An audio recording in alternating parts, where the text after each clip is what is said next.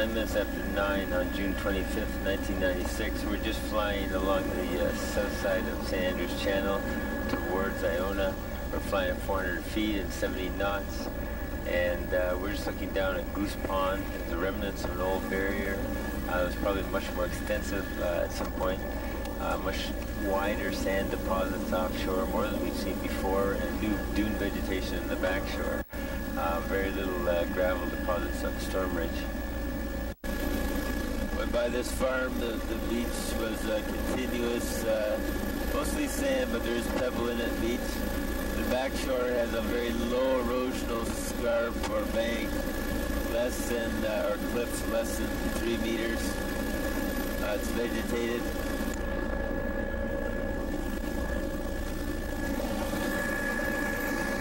We're going by another large uh, area called uh, Christmas Island. And uh, Christmas Island is linked uh, by uh, two large uh, beach ridge complexes. Uh, you see there's several large uh, beach ridges on the where the trailers were. As we come into this narrower barrier, a mixture of sand and gravel, and the for the nearshore area is mostly sandy. It's controlled by these two uh, headlands, uh, which are primarily unconsolidated till material, or appear to be, and they're the anchor points for these beaches.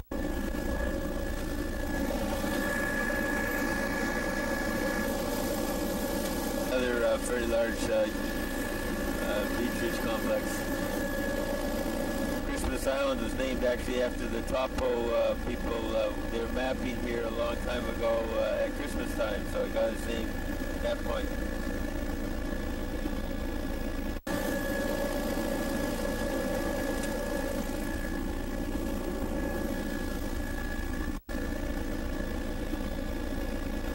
Just going by uh, Niven or Niven Cove, the railway bridge crosses the front of it and then we'll be just coming up on the Barra Strait area.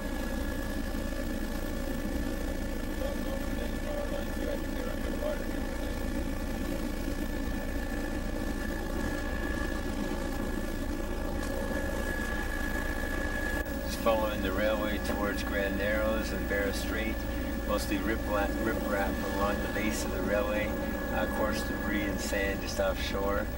And uh, just as we approach Barra Strait, uh, you get a much wider uh, de deposit of material.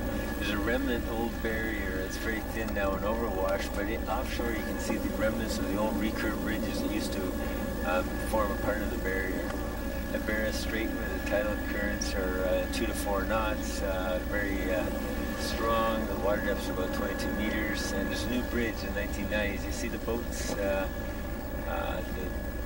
bridge, highway bridge there's a lift bridge. There's a railway bridge, is a swing bridge, which doesn't look to be used, or left, it's left open anyway right now. And on the inner side of Grand Narrows, you get a fringy beach changing from gravel to sand. And the old ferry uh, launching site uh, at Grand Narrows used to go across to Iona. We're just going by Grand Narrows now. The time is 0914.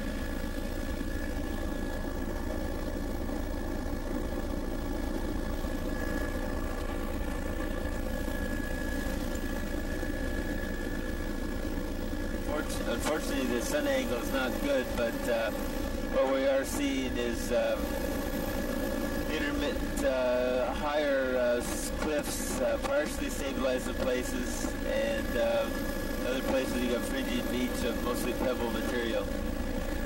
Coming around out of St. Andrews through Barra Strait, we're just coming up on Dermot's Point, some people call it Derby Point. there's a I believe a light. that now it's just a navigational marker, I guess. Uh, the backshore is up to uh, around 250 uh, feet, so over 60 meters of relief. The, the road is probably about uh, 10 to 15 meters. Those cliffs are probably uh, 8 to 10 appears to be mostly unconsolidated, but there is bedrock just at the base. And the beach itself is a well, uh, well uh, sorted uh, pebble material and sand in the lower foreshore. And just offshore you've got it in a cobble boulder. Now we've got a ramp going along here, bedrock ramp, sandstone. Uh, the ramp continues offshore. It's irregular uh, to smooth in nature.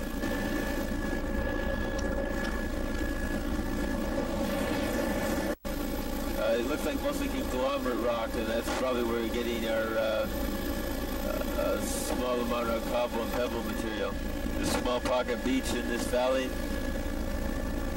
And then as we continue along, we're getting into, uh, again, uh, a higher relief um, around 60 to 90 meters coming into Piper's Cove.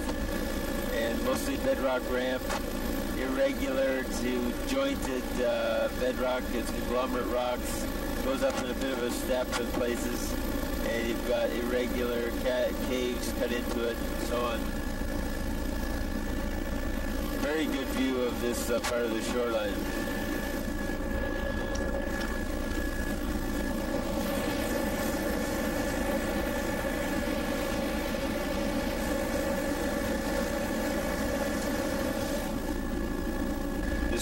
went Piper's Cove, 0917, and uh, flying at uh, about 450 feet. The Schwa across uh, this pond is uh, primarily uh, sand and fine pebble, and the beach is a uh, continuous fringing beach, sand and pebble again. Then we break back into isolated outcrops of of uh, bedrock, uh, most of that conglomerate rock. Uh, now totally into a cliff, a high cliff of about, oh, I guess close to um, 40 meters, 30 to 40 meters.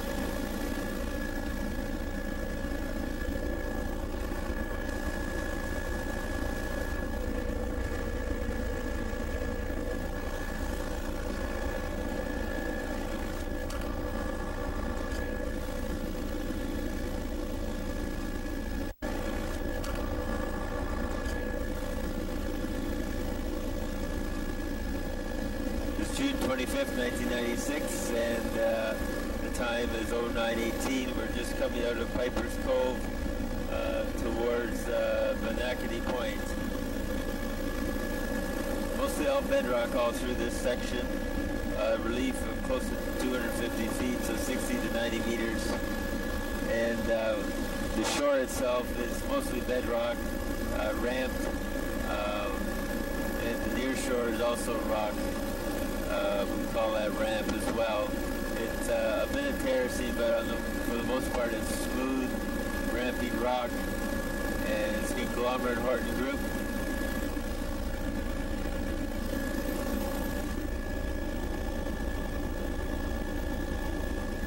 So we, we just go up in the Benacadie ponds.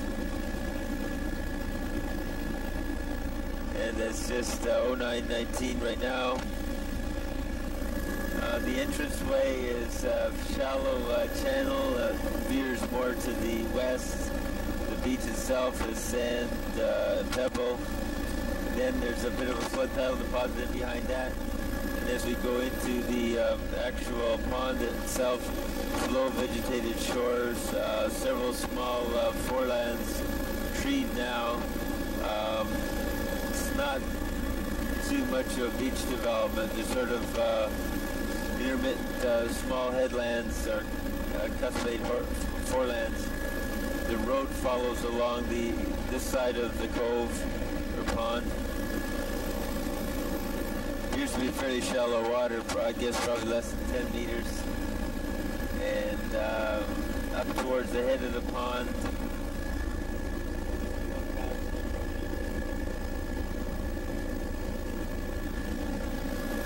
reaching the head of uh, Pond. Uh, we've got the Benacadie River coming in here, so there's a lot of uh, floodplain deposits, uh, deltaic deposits and wetland. Um, it's uh, 920, uh, we're flying about 500 feet, and you get a good view here of the floodplain of the Benacadie River. You can see the old meandering channels in the background and the present channel of the river that leads to Benacadie Pond in the foreground. Uh, as we look, turn around and look down towards Benacadie Pond, you see the extent of the wetland and marsh deposits, and you get a good view of the relief of the terrain in the back shore.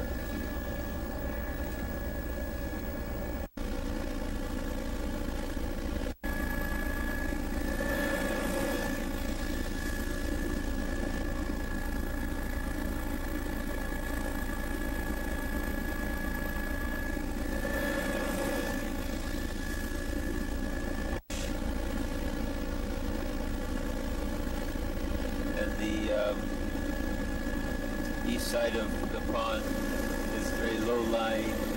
Vegetation goes right down to the water level and it appears to be sort of erosional mud and uh, sand uh, for the most part. Very little uh, well-developed beach as we'd expect in this quiet area. Uh, except that there's a few small forelands just coming into view now that have a sandier beach. Still some pebble up scarp at the back is uh, primarily stabilized. It's less than three meters for the most part. It's treed uh, with scrub brush like alders and so on.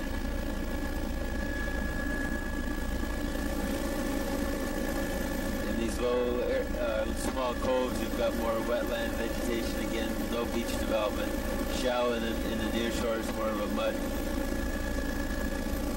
Just heading out of uh, pond, we'll be heading towards uh, Amagadis, Amagadis Pond and Eskasoni. Several good stratigraphic sections along this area that Doug Grants used uh, to look at the uh, quaternary history. This first part we're looking at right now is uh, bedrock. Uh, again, uh, mostly kilometer sandstone it looks like. Offshore is bedrock as well, and scattered cobbles. There's some sort of ramp, a little bit of ramping here and there, and then you get into this, uh, this very uh, high uh, consolidated material. It's gullied. Um, I would guess it's probably about um, uh, 15 to 20 meters high. Uh, looks like a fairly fine silt and clay. It's a lot of real wash in it. Time is 0923. It's interesting in this part of the Bras d'Or Lakes, uh, between, uh, it was marine and then went freshwater around 9 to 10,000 years ago and then back to marine around uh, 4,000 years BP. So it's got quite a long uh, quaternary history, uh, interesting history. We're coming up on uh, fairly large bear in a second, but it, it must be fed by uh, material from these cliffs. Extensive gullying all through here. It must be finer material, scattered uh, boulders in the near shore.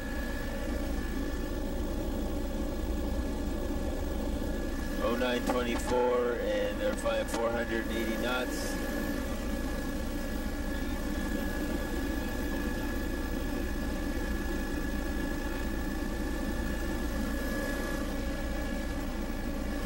Across this Barachois is mostly pebble and, uh, very near shore and then switch into a sand body uh, uh, farther offshore.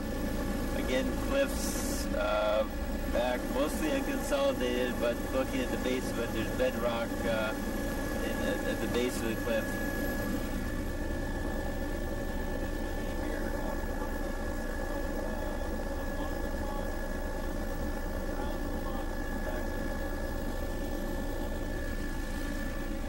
By uh, a, Magadis Pond, uh, which is an angling area, and uh, the hope is to develop uh, quite an angler's uh, paradise in this area. You've got quite an extensive barrier cutting across the front of uh, Pond, mostly sand, dune grass. Looks like an old opening or washover where they put uh, cobble boulder deposit. Then as we come into this side of Magadagas Pond, uh, Pond, you've got uh, what look to be old beach ridges where the trees are, and it's a progradational feature, fairly wide. Uh, sand and pebble in the near shore, And it looks like be an old wharf uh, structure or something in the water just at this end where the opening is uh, into the pond.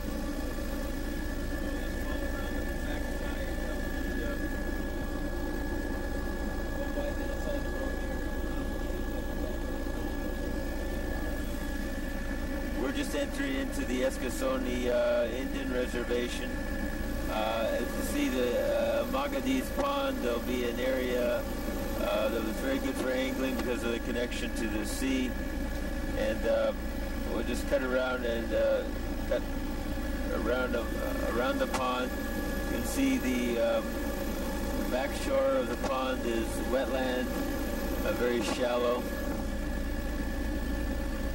Get a good view now of uh, of the Barachois in front of it and the uh, the cliff area, the backside of the cliff. This is the castle, sometimes called the Castle Bay Beach area, or Castle Bay. If you get some of the uh, residences in the foreground, uh, Dave, uh, of the Castle Bay settlement. See the relationship to the Schwa. It's a very beautiful uh, beach out in front. Uh, it's uh, partially treed. There's an island in behind. Uh, again, there's some wetland vegetation uh, at the base. And then we'll just cut back out to the outer coast.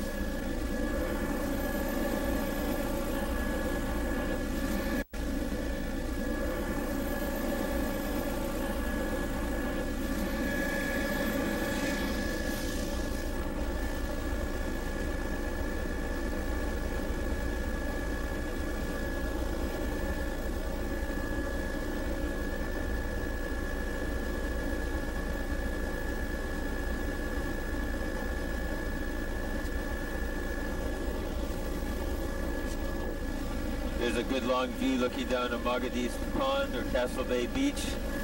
The treed shores on the inner shore. Um, bit of a relief uh, there. We're just cutting along the outer shore right now. It's an extensive cliff uh, that anchors this beach. There's a track right along the uh, barrier.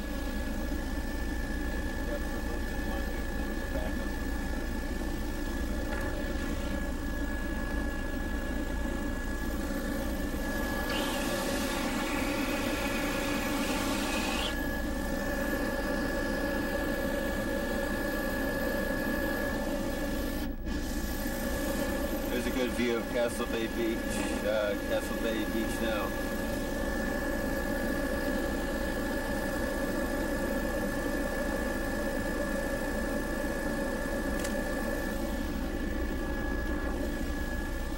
Time is 0929.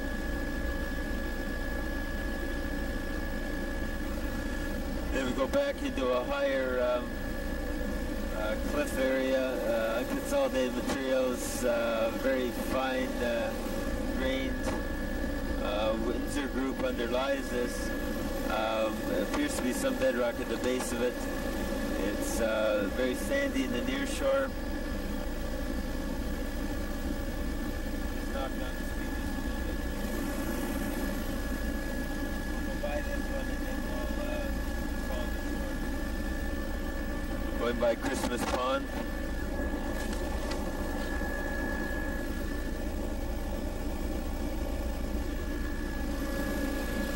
Barrier again is primarily sand. It does have some pebbles and it's wide open at the far end, although there's an extensive shoal that extends off of the spit. Uh, we didn't quite see it, but that's uh, extends over to a small island uh, just offshore.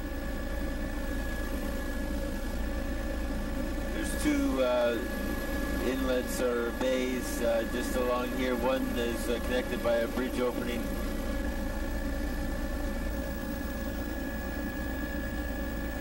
I think we just passed the uh, mouth of Christmas Brook, but we're entering Eskasoni, uh, the outskirts, and the shoreline is very low-lying, a bit of a fringy beach, extensive shallow water offshore.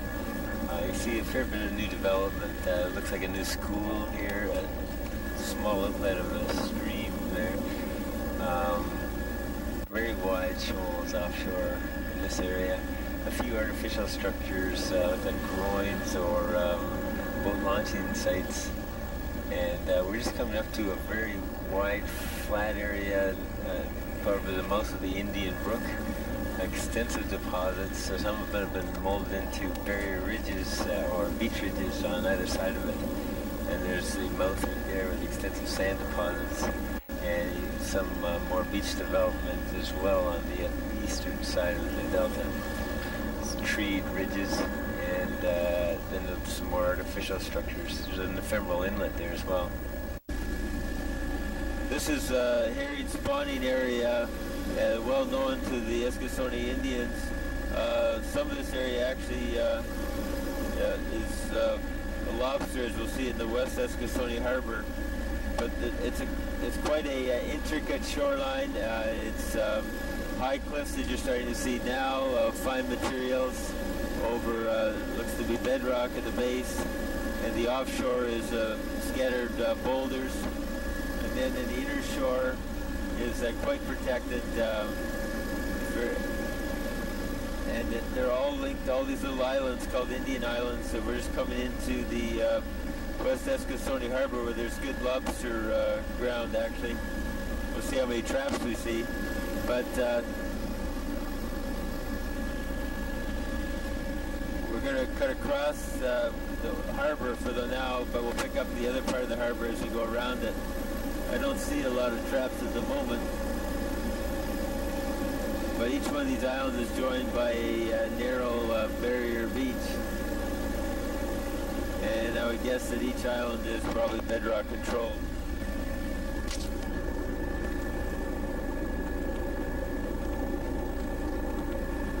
Fee Island, which is one of several of the Indian islands.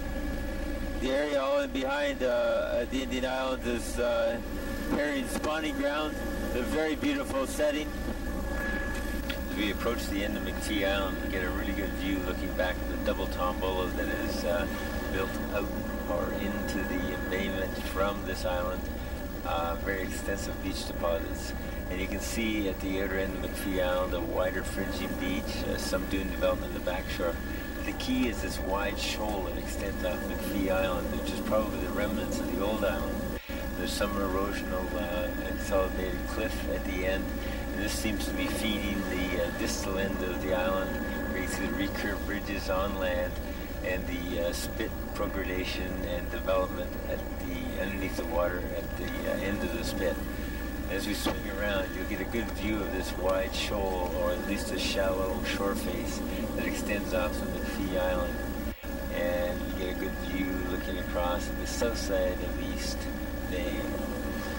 Traveling along the inner side of McPhee Island, uh, there's shallow water deposits, but very little beach development. Um, maybe low erosional cliffs in the background, it's hard to tell. But this island would feed these tombolos or uh, beaches extend off the backside of McPhee Island. Extensive sand deposits on the inner side of this tombolo. We're just cutting across uh, one of the larger barriers uh, that protects the area. There's a, a, a, net going across here that could be for the herring spawning uh, area or fishing. And as we cut across, uh, we're heading in, heading in towards uh, Eskasoni.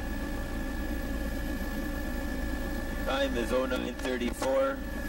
Uh, that's one of the small islands. The, the inner shore here is a uh, partially scarped uh, three to five meter backshore, very little beach in around the treed areas. Uh, and then there's a shallow uh, area just in uh, near shore and then it deepens.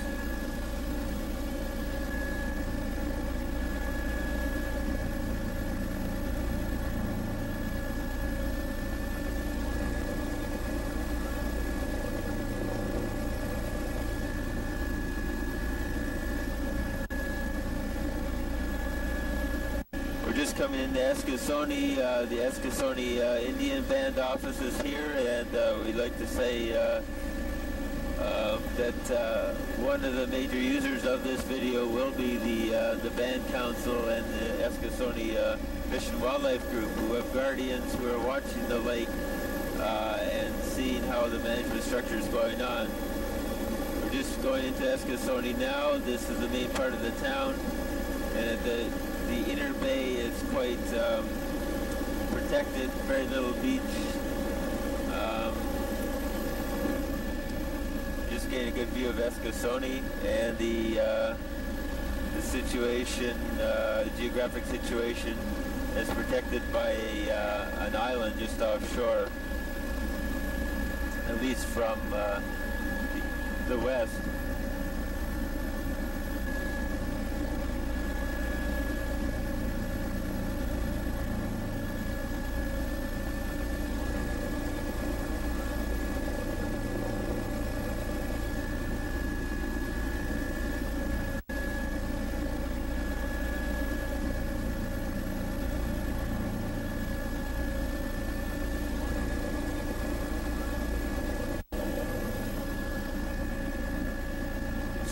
Back along in the Crane Cove. We'll, be going by the uh, Fish and Wildlife Office.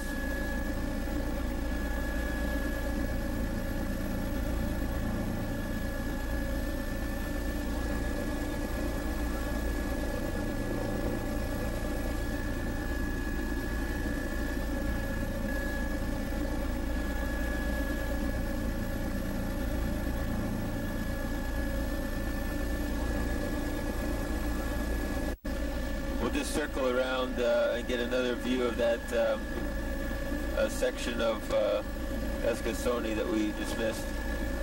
Come down the outer coast to get a view looking down the Indian Islands.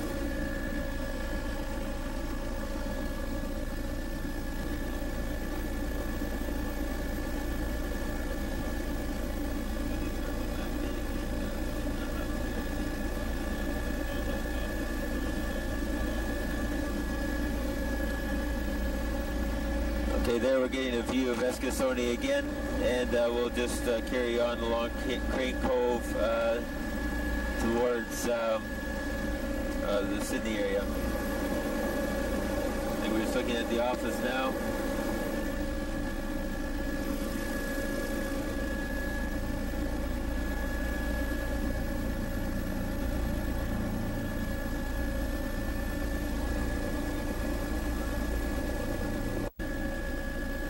This wh- this whole area is um, herring spawning ground. Um, sort of deep waters in uh, the inner part as we come across along Island View. Uh, it's at Talus uh, shore. It looks like it's been quarried in the backside. You can see it there. Uh, the beach is not well developed because it's protected by the Indian Islands. There's intermittent uh, residences uh, and wharves all along this shore. Extensive uh, um, old wharf structures and buoys just offshore for anchorages. And um, the beach itself is uh, sand and pebble. It's a low erosional scarp or cliff in the back, less than a meter high probably. And then the nearshore area is all very low-lying very shallow uh, muds. Some of it's uh, quite uh, heavily vegetated.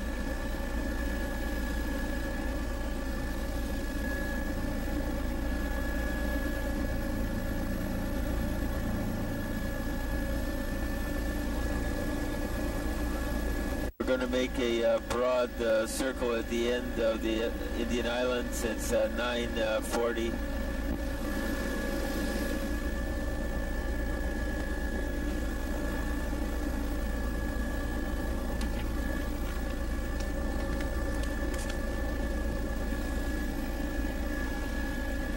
And we're looking down towards Sydney at the moment. We're at 400 feet and it's uh, 0940 hours.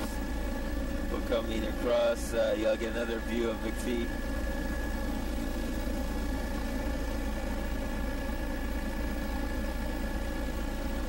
You're looking at the far side of East Bay right now, over towards um, Porphyry Point and Marble Point.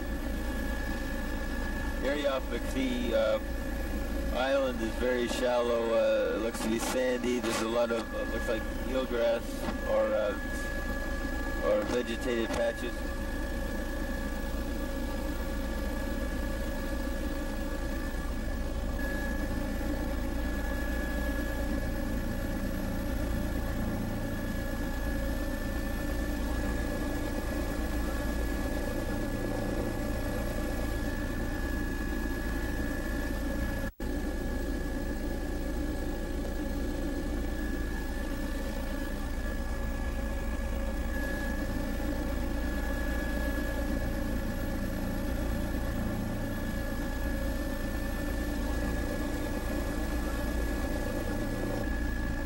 We're just going by that large barrier again.